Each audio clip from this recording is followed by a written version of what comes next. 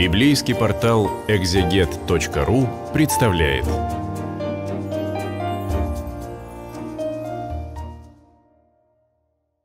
Сегодня на библейском портале «Экзегет» мы будем читать 30 главу этой книги.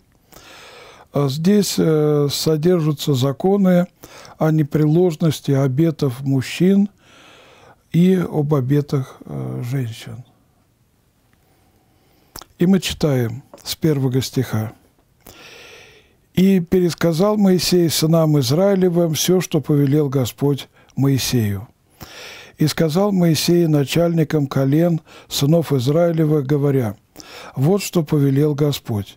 Если кто даст обет Господу или поклянется клятвою, положив зарок на душу свою, то он не должен нарушать слово своего, но должен исполнить все, что вышло из уст его.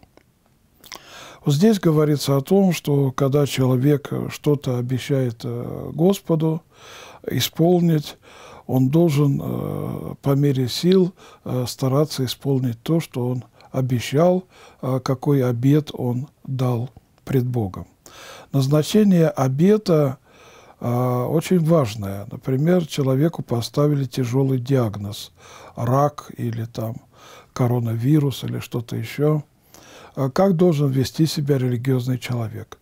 Конечно, он прибегает к всем предписаниям врачей, потому что в Библии сказано, что искусство врача, оно от Господа.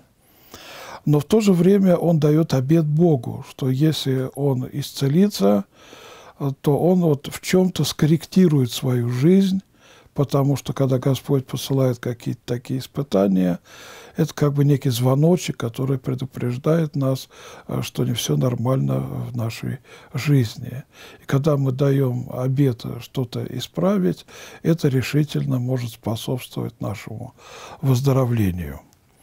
И мы читаем далее – если женщина даст обед Господу и положит на себя зарок в доме отца своего, в юности своей, и услышит отец обет ее и зарок, который она положила на душу свою, и промолчит о том отец ее, то все обеты ее э, состоятся, и всякий зарок ее, который она положила на душу свою, состоится. Если же отец ее, услышав, запретит ей, то есть остановит этот обет, то все обеты ее и зароки, э, которые она возложила на душу свою, не состоятся. И Господь простит ей, потому что запретил ей отец ее.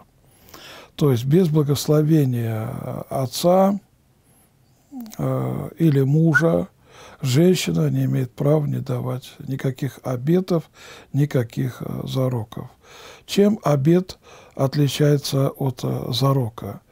Зарок – это когда человек э, говорит, например, если я не исполню этого, да будет то-то и то-то. А обет – это обещание что-то исполнить, что-то скорректировать э, в своей жизни.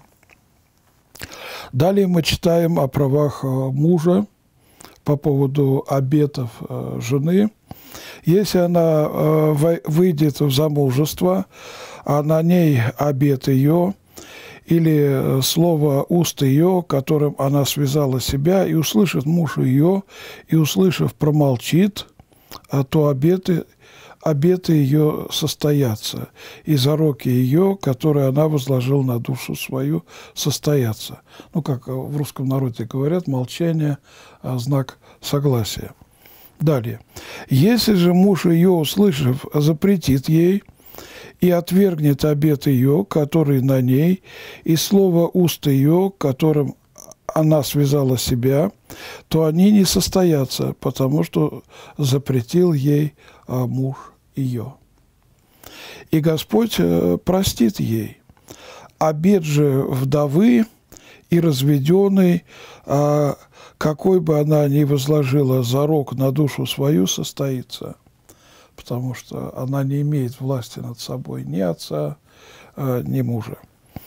Если жена в доме мужа своего дала обет или возложила зарок на душу свою с клятвою, и муж ее слышал и промолчал о том, и не запретил ей, то все обеты ее состоятся, и всякий зарок, а, который она возложила на душу свою, состоится.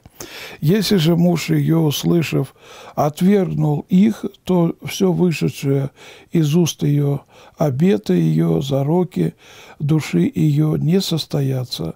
Муж ее уничтожил их, и Господь простит ей.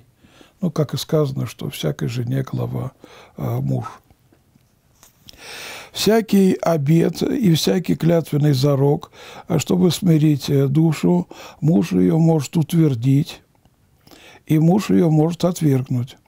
Если же муж ее молчал о том день э, за день, э, то он тем утвердил все обеты ее и все зароки ее, которые на ней утвердил, потому что он, услышав, молчал о том, а если муж отвергнул их после того, как услышал, то он взял на себя грех ее.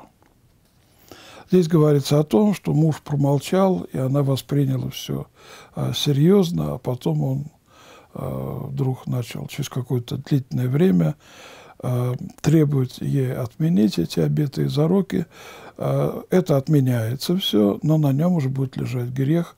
Почему он тогда промолчал, когда первый раз услышал? Вот уставы, которые Господь заповедал Моисею об отношении между мужем и женою его, между отцом и дочерью его, в юности ее, в доме отца ее. Итак, сегодня мы э, изучили с вами 30 э, главу книги «Чисел», а в следующий раз, если будем живы, Господь позволит, будем читать 31 главу этой книги. Спаси Христос.